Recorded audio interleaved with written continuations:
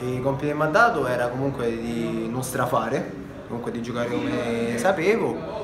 E niente, meno male che è uscito il gol, sono stato anche un po' fortunato, però tutto sommato è andato tutto bene, dai.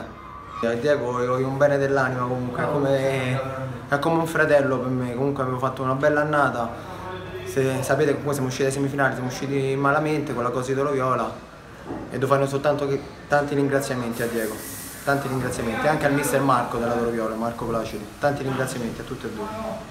Eh, eh, sono, sono, tanti giocatori bravi, eh, Quagliarello è bravo, il Gaucio è bravo, due giocatori mi hanno impressionato tanto. E poi resto tutti, comunque tutti i giocatori bravi, assolutamente. Farebbero tutti bene comunque una squadra come noi della Così Viola.